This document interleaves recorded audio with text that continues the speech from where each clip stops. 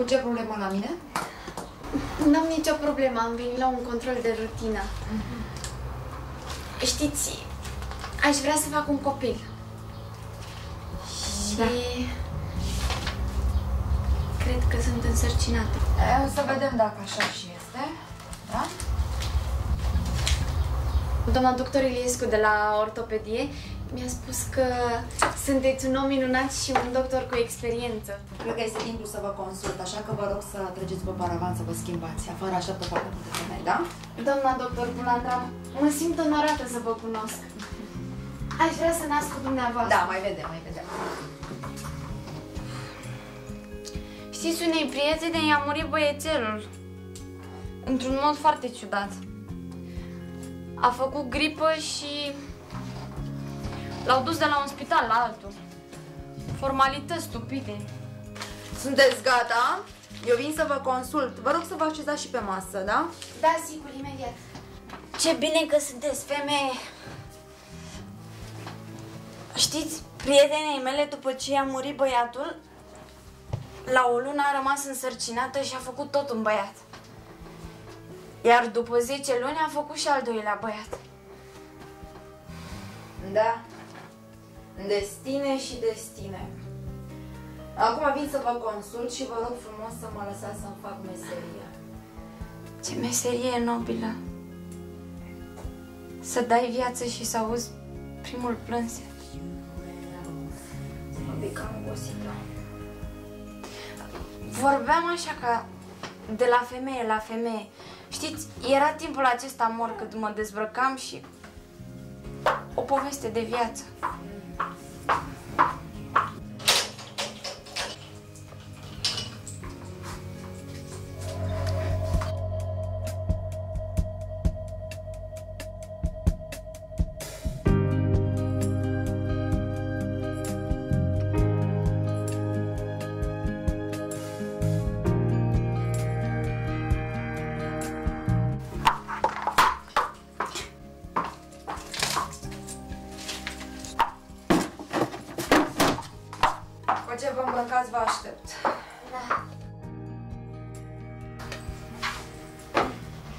Nume? Mara Mărăscu. Da.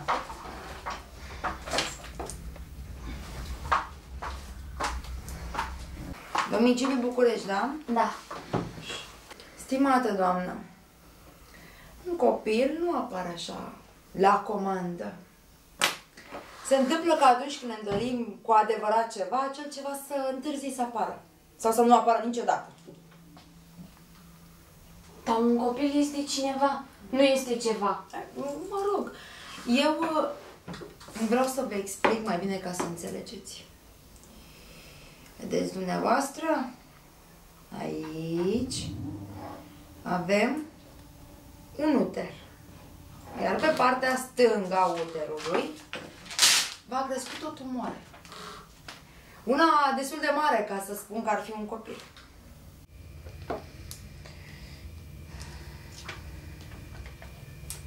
Nu se poate.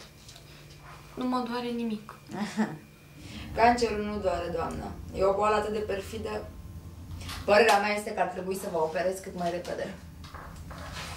Luni? Da, miercuri. Miercuri aceasta. Cu cât mai repede, cu atât mai bine. Îmi pare rău, asta e.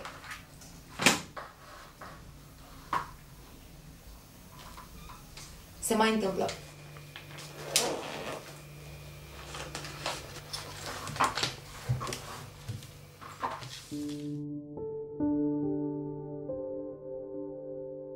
Eu mai vroiam un copil.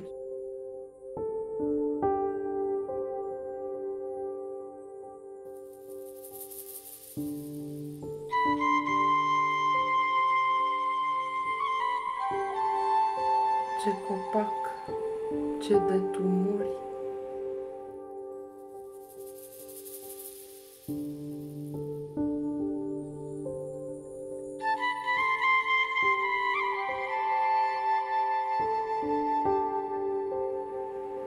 am să dispar.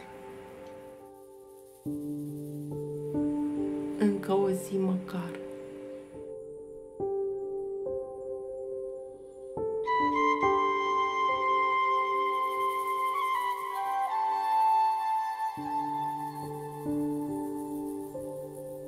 Oare ce își doresc oamenii în rugăciuni și acatiste?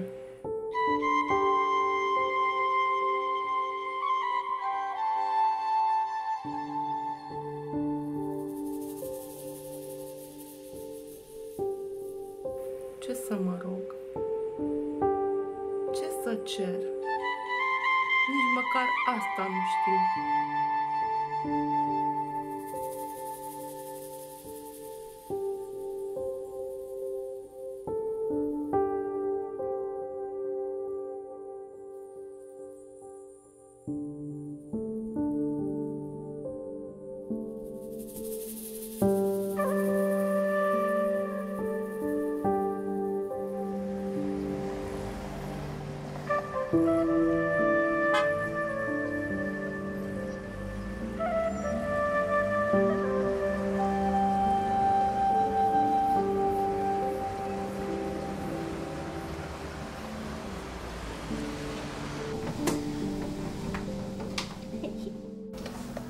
nu știu. Bună, doamnă!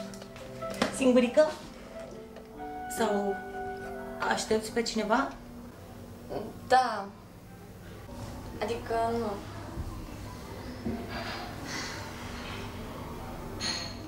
Era poftă de o cafea și am intrat aici. Ce coincidență! Și eu am poftit la o cafea, dar uh, mă mulțumesc cu miros. Uite, eu cred că o cafea este o asociere cu starea de relaxare. Știi, eu de șapte luni nu mai fumez și nu mai beau cafea. Am intrat aici doar ca să... să adun mecaromele și să văd oamenii cum se bucură. Îi invidiez. Cred că ei te invidiază pe tine.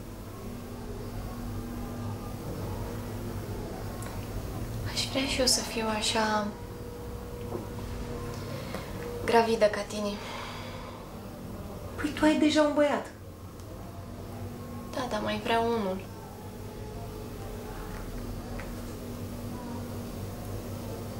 Adică vidul din uter devine grav.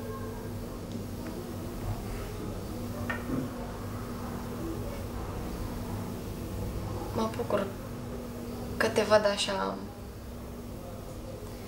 gravidă. Așa te bucuri tu? Ce ai? tumoare. Am vrut să mai fac un copil și madame doctor mi-a zis că am o tumoare. O tumoare. Adică asta a văzut ea.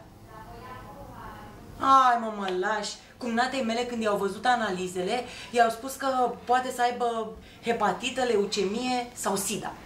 Trei posibilități, îți dai seama? Una mai minunată decât alta. Ce mai mai e loterie? Ai un doctor bun? Ai făcut ecografia? Ecografie. Ea nu mi-a zis nimic. Trebuie să fac ecografie. Păi normal că trebuie. M-am zăpăcit. Trebuie să fac ecografie. Eu am plecat. Um, naștere ușoară.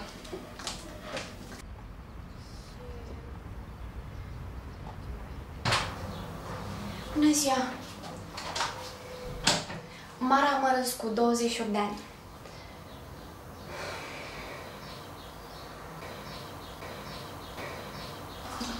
Bună ziua! Bună ziua!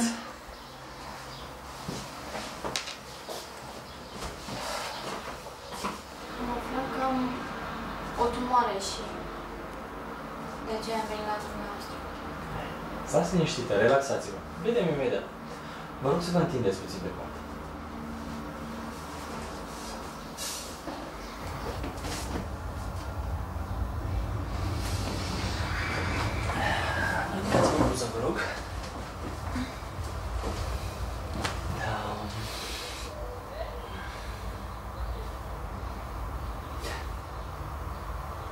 Mai aveți copii? Da, un băiețel. Să vă trăiască. Mulțumesc. Văd niște picioare de balerină. Felicitări! O să aveți un copil. Cred că e fetiță. Eu? Da, da. Chiar așa? O să am o fetiță? E posibil? E posibil.